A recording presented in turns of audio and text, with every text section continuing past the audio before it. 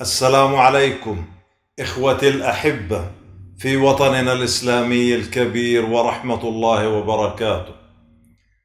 دارت كؤوس الحب للعشاق فالقلب نار والعيون سواقي كل على ليلاه أضناه الهوى وأنا الهوى بمحمد ترياقي إن مر طيف محمد في خاطري هاجت بحار الحب في أعماقي. شوق إلى ذكر الحبيب يهزني فلتسقني من كأسه يا ساقي. أنا لو بقيت الدهر أبكي أحمدا. ما جف زمزم دمعي الدفاق. أنا في هواه متيم متطرف حد الهيام فما أطيق فراقي. لما عرفت حبيب رب المصطفى صارت صلاتي عدتي وبراقي. فالله صلى والملائكة اقتدت فاهتز كل الكون بالأشواق. والكون قلب بالمحبة نابض شوقا لأحمد قبلة العشاق بابن الذبيحين الذي ملأ الدنا بالذكر والنور الكريم الباقي. نسب نسب أطل على الوجود مشرفا من قمة الأنساب والأعراق. أنت الإمام على الأئمة كلهم. في ساحة الأقصى بخير رفاقي يا سيدي يا سيدي ماذا أقول لثلة راحت تبث السم بالأبواق؟ تعوي كما تعوي الذئاب خسيسة فيجيب بالأمة أهل نعاق. هيهات هيهات يطفأ نور شمس محمد. بفحيح أفعى أو ببعض نعاق. سفراؤنا ذهبوا للوم زعيمهم فأبى الخروج لهم على الإطلاق. أنا لا ألوم زعيمهم فلعله متربص في عدة لطلاق. أفمن ينشأ بالحلى متقلدا عقد النساء يلوح بالأعناق؟ أولى بكن بيوتكن وطاعة للزوج في ود وطول عناق واتركن أعمال الرجال لأهلها واقنعن بالخدور واسكروا بالأطباق فاخسأوا أعداء الله ليس مكانكم بين الرجال بحلبة وسباق.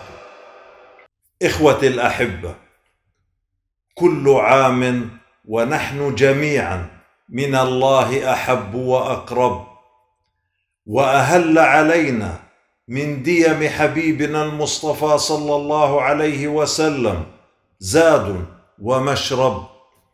وأقامنا واصطفانا لأمره كما يحب ربنا ويرغب. وغفر لنا ما قدمنا من سابق أعوامنا من ذنوب وتخاذل ومهرب. وجعل لنا في عامنا هذا من صالحين ومسجونين ومهجرين فرج ونصر مؤزر ومخرج. يا شباب علينا ان نعلم في بداية عام 2024 بعد أصول وبعد منابع راسخة قوامها الله ورسوله منطلقا وسلوكا وغايه. هذا لمين يا شباب؟ فقط لمن أراد الحق اليقين المطلق القطع الواضح الواقعي اللي لا جدال فيه المستند لله ورسوله. والتاريخ والتجارب دون هوى وظنون وتنطع وفلسفة فارغة من البرهان البين الراسخ. اولا يا شباب النصر والتغيير والتمكين الحقيقي لغزة خاصة والأمة عامة يكون من الله المرتكز على نهج الحبيب صلى الله عليه وسلم. فلا نصر وتغيير وتمكين دون التقدم لله بنهج رسوله المصطفى صلى الله عليه وسلم. كبداية وسلوك وهدف. بدءا من النفس إلى الدوائر المحيطة إلى الدوائر الأكبر. ليتولى أمرنا الصالحون وأولياء الله ومن هنا البداية ولا غير. دائما وابدا يا شباب. هذا اولا. ثانيا وحدة المسلمين على ربهم ورسولهم ثم الصالحون منهم على ما يرتضيه ويحبه الله ورسوله دون هوى وتزكية النفس تسبق نهضتهم وتبدل حالهم. لا بد يا شباب قبل النهضة والتغيير والتقدم الوحدة الوحدة الوحدة على أمر الله ورسوله.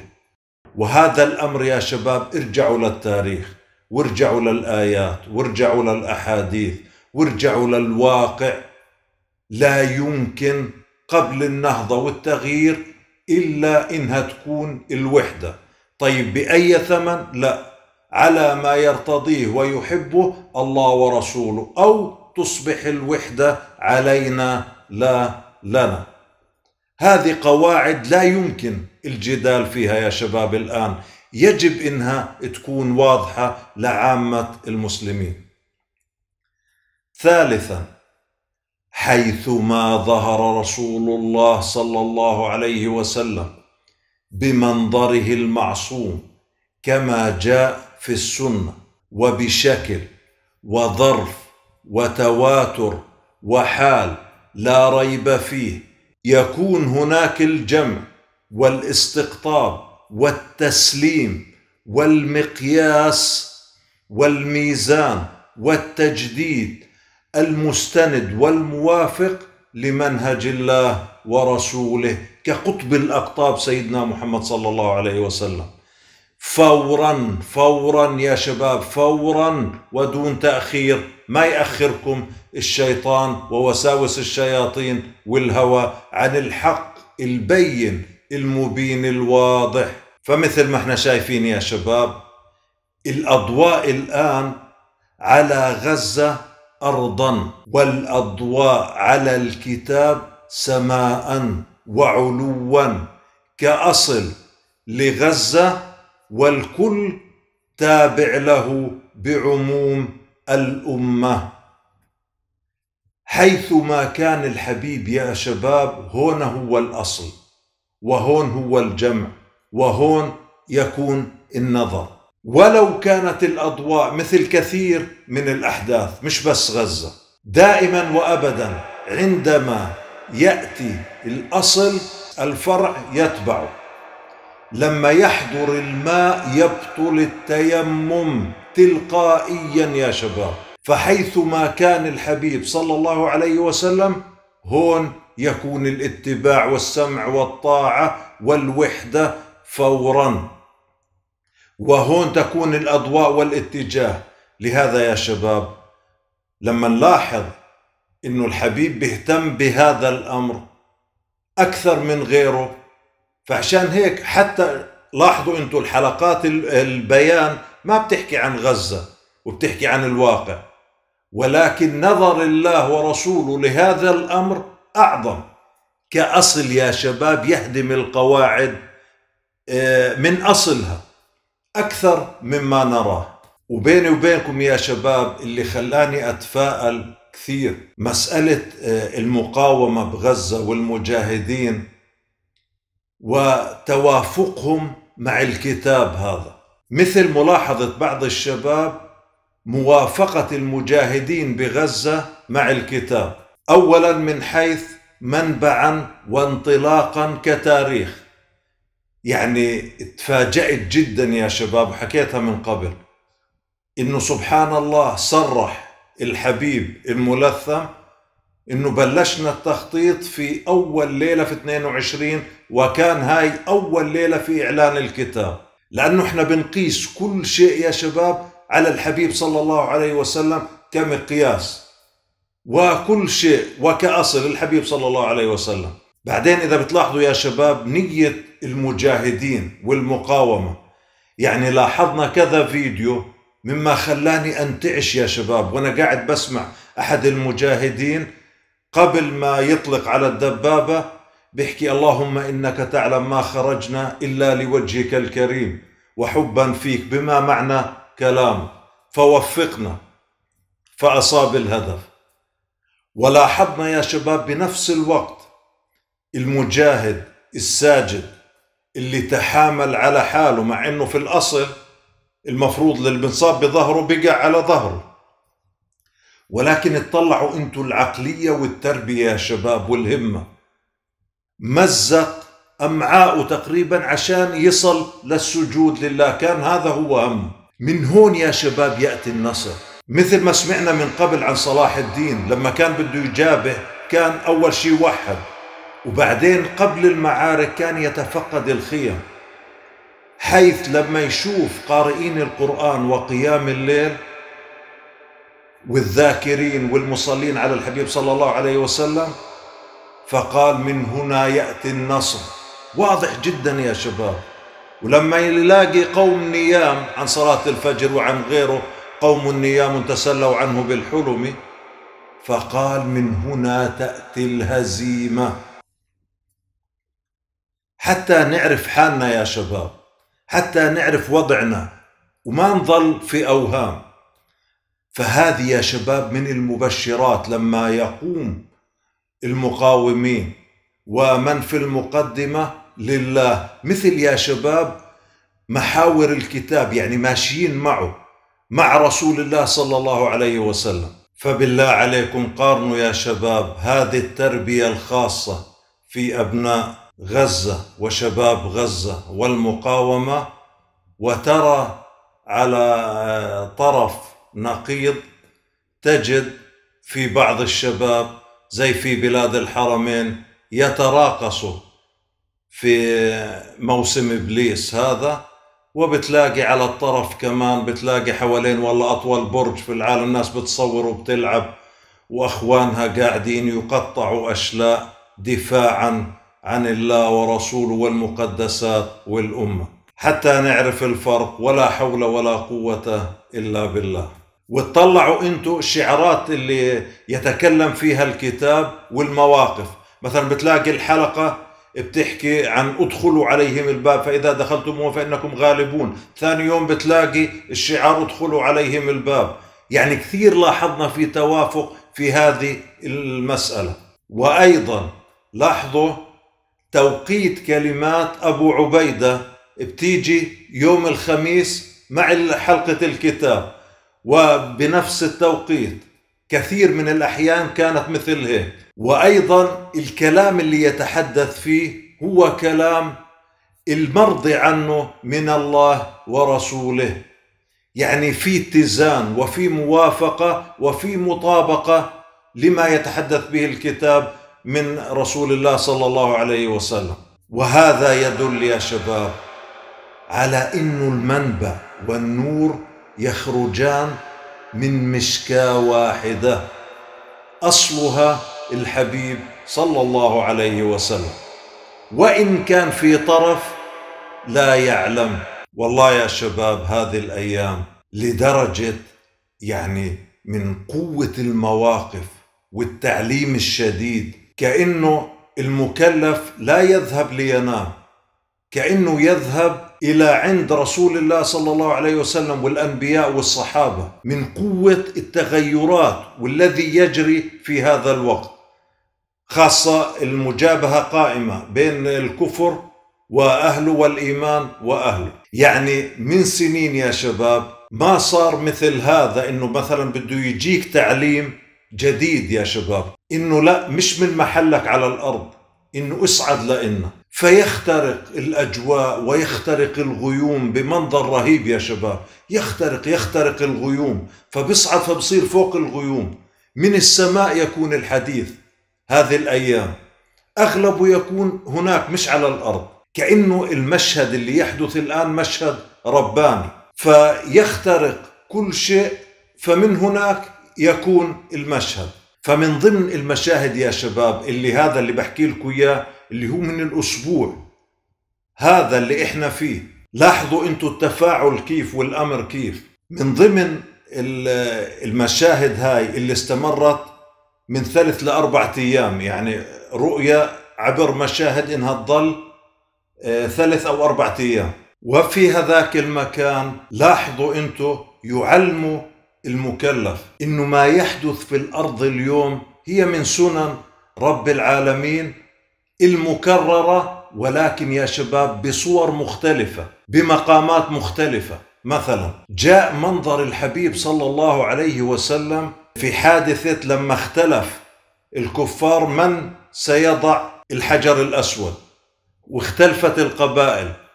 فقالوا أول واحد يدخل فكان الحبيب صلى الله عليه وسلم الصادق الأمين ففرد ثوب الحبيب صلى الله عليه وسلم وحكى لهم امسكوا كلياتكم وفي الأخير كان الحبيب صلى الله عليه وسلم بيده الشريفة من وضع الحجر الأسود في الكعبة ليكتمل البناء. والمشهد الآن بصور مختلفة في طوائف في المسلمين وفي أحزاب وفي مدارس والاختلاف شديد يعني. طيب من سيصلح لهذا؟ اختار رب العالمين يا شباب إنه يكون الحبيب صلى الله عليه وسلم هو من يمسك زمام المبادرة. فيمسك الآن مثل المنظر تكرر يا شباب. إنه الكل يأتي للكتاب فيمسكه. أطراف هذا الثوب والحبيب صلى الله عليه وسلم هو من سيقود المشهد بذاته المحمدية صلى الله عليه وسلم. يعني تكرر المشهد. هيك هذاك أنت تراه في السماء ولا يكون المشهد إلا بهذا. الجمع على رسول الله صلى الله عليه وسلم. يا شباب غير هيك واقعا لا يمكن نسلم لبعض. لا يمكن للمسلمين إنهم يجتمعوا أو يسلموا لبعض إلا إنه يكون أمر مثل هذا كبير. يكون منبعه موثوق من رسول الله صلى الله عليه وسلم. ومن المشاهد العظيمة في هذه الرؤيا الكبيرة اللي حكينا لكم توالت لايام يعني.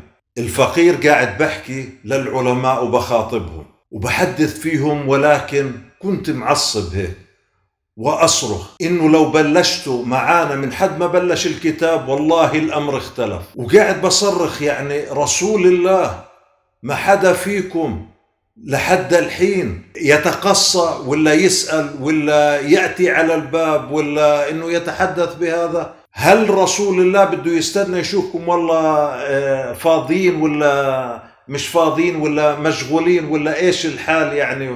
هل رسول الله سيعطي أمره لواحد من العلماء إنه يكون على الهوى ولا فاضي ولا مش فاضي إنه يكون هذا مش من اولوياته إنه يترك الدنيا بما فيها كرامة لرسول الله صلى الله عليه وسلم. فإذا ما كنت على هذا المستوى لن يأتيكم هذا الأمر ولن تتفاعلوا معه أصلا. فالفقير قاعد أصرخ. إنه الحبيب يقول مثل ما حكيت لكم يا شباب أغلب الليالي رسول الله يقول لكم رسول الله يقول لكم والله يا شباب من قوتها بقوم وهي تتردد صداها في ذاني إنه رسول الله يقول لكم هذه الأيام طلعوا أنتم لأي مستوى؟ والعلماء أسفي على اللي سمعوا ما بدي أسيء الظن مش عارف إذا وصل للجميع ولا لا. ما عندي إخبار بهذا وجزم بهذا حتى ما نظلم. هذا المشهد وهو لوم ممن يحمل الكتاب وقاعد بيحكي لهم إنه رسول الله يحدث. رسول الله يقول طلعوا يا شباب. فجأة بمنظر والله يا شباب ما أنا متمالك حالي هسه وأنا بحكي لكم إياه. تقشعر له الأبدان والله يا شباب. والمكلف يتحدث معهم فخرج الحبيب صلى الله عليه وسلم من ظهره يعني من خلفه وأشار للمكلف بيده اليسرى إنه آه، يعني خلص أنا سأتحدث معهم. وبلش الحبيب صلى الله عليه وسلم يتكلم في الأمة عامة وفي العلماء خاصة بيقول لهم أنا النبي لا كذب أنا ابن عبد المطلب. يعد فيها أنا النبي لا كذب أنا ابن عبد المطلب. أنا النبي لا كذب أنا ابن عبد المطلب.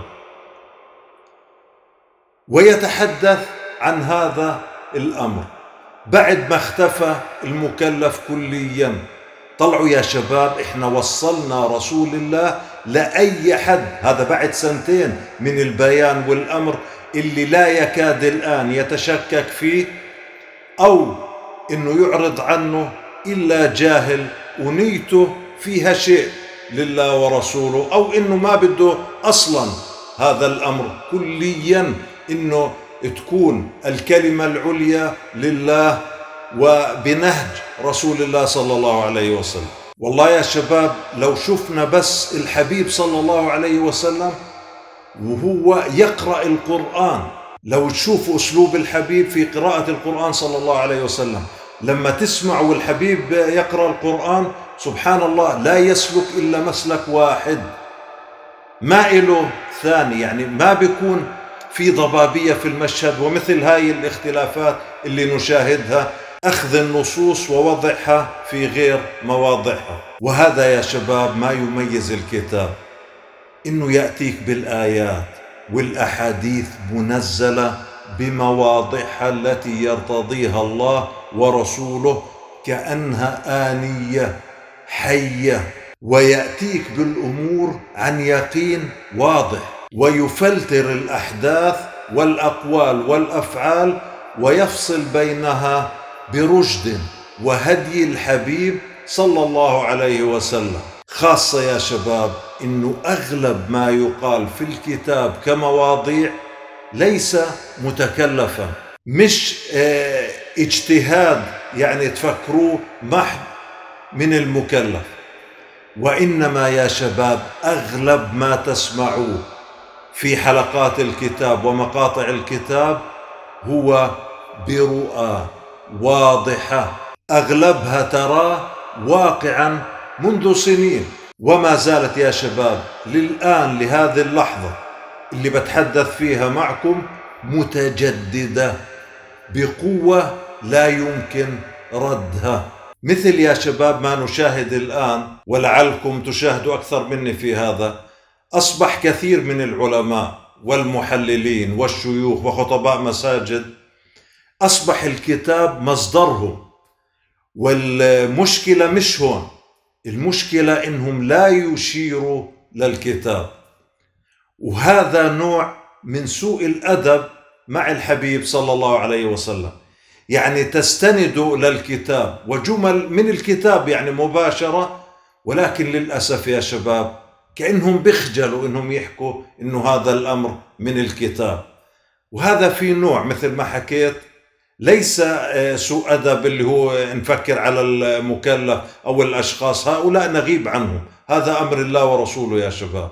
ولكن في نوع من سوء الأدب إنه الحبيب من يقوم على هذا الأمر ولا نذكر مشروع الكتاب. ومن هذه الأمثلة يا شباب خلينا نعرف قيمة هذا الأمر. مثل الآن يا شباب ما الذي سيحدث الآن في المستقبل القريب كغيب؟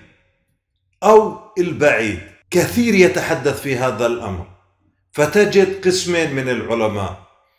كل يستند على أدلة من القرآن والسنة. مع العلم يا شباب خذوا هذه القاعدة. حفظ الدليل لا يؤهلك للحديث والفتوى عن الله ورسوله. إن لم يقرن أولا. بالاتصال مع الله ورسوله بكثرة ذكر الله والتواصل مع الله ورسوله والأدب كحس معنوي ثم يتبع علم بشمولية المنهج الرباني ككل من سبب النزول والمقصد الشرعي وهذا كله يا شباب معروف لكبار علمائنا ولكن اللي غير معروف هو أن الله يجري الأحداث كما أخبر بقرآنه وكما أخبر برسوله بسنن ربانية مقرونة ومرهونة بنية وفعل عباده كقضاء وقدر بمعنى إن كان كذا فسوف يكون كذا وفوق ذلك يا شباب كله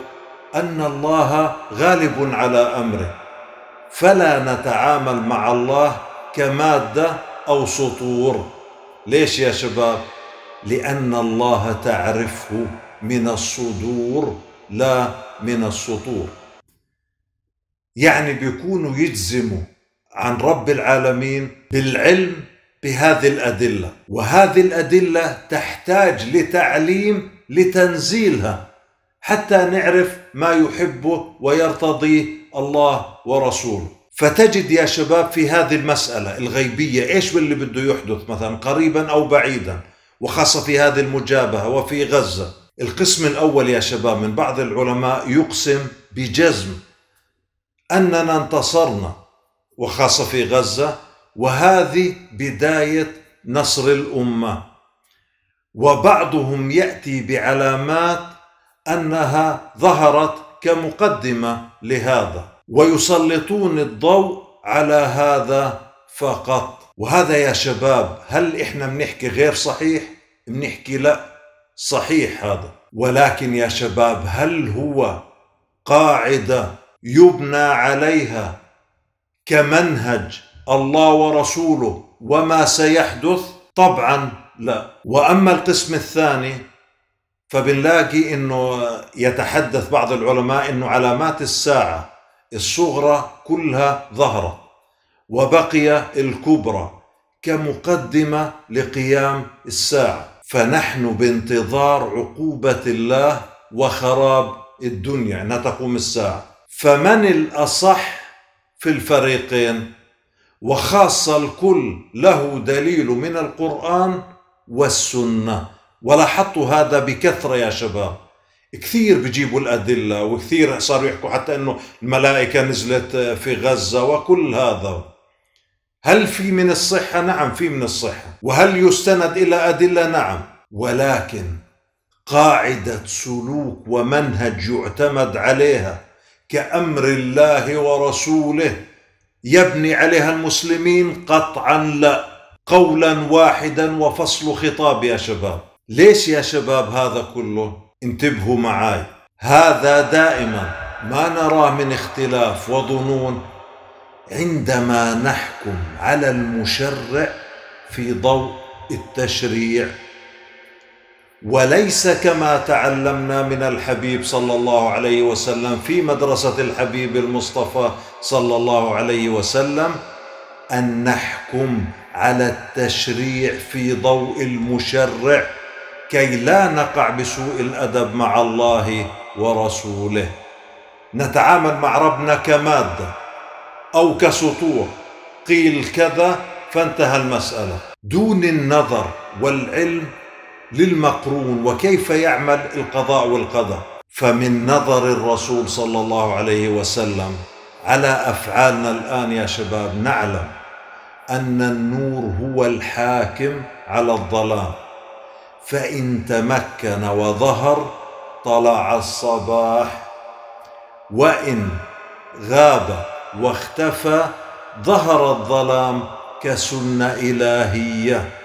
ولن تجد لسنة الله تبديلا ولن تجد لسنة الله تحويلا. ونقول أفي دار الخراب تظل تبني وتعمر لاهيا عما خلقت. وما تركت لك الأيام عذرا لقد وعظتك لكن ما اتعظت.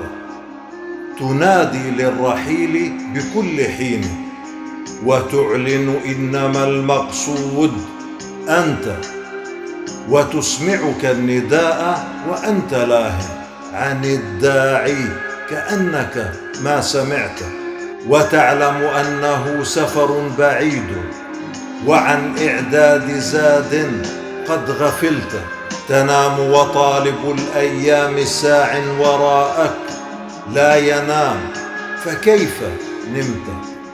يضيع العمر في لعب ولهو. ولو أعطيت عقلا ما لعبت. ولست بآمل ردا لدنيا فتعمل صالحا فيما تركت. أيا غصن الشباب تميل زهوا كأنك قد مضى زمن وعشت. علمت فدع سبيل الجهل واحذر. وصحح قد علمت وما عملت. ويا من يجمع الأموال قل لي أيمنعك الردى ما قد جمعت؟ ولا تهمل فإن الوقت يسري فإن لم تغتنمه فقد أضعت. ترى الأيام تبلي كل غصن وتطوي من سرورك ما نشرت. وتعلم انما الدنيا منام فأحلى ما تكون إذا انتبهت. فكيف تصد عن تحصيل باق؟ وبالفاني وزخرفه شغلت. هي الدنيا إذا سرتك يوما تسوءك ضعف ما فيها سررت. تغرك كالسراب فأنت تسري إليه. وليس تشعر إن غررت واشهد كم أبادت من حبيب كأنك آمن ممن شهدت وتدفنهم وترجع ذا سرور بما قد نلت من إرث وحرث وتنساهم وأنت غدا ستفنى كأنك ما خلقت ولا وجدت تحدث عنهم وتقول كانوا. نعم كانوا كما والله كنت. حديثك هم وأنت غدا حديث لغيرهم. فأحسن ما استطعت.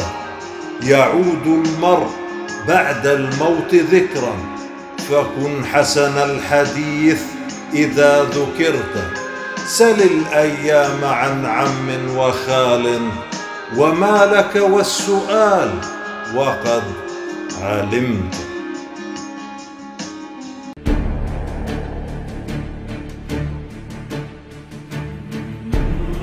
يا شباب أمة الحبيب المصطفى صلى الله عليه وسلم كفانا هزوا ولعبا.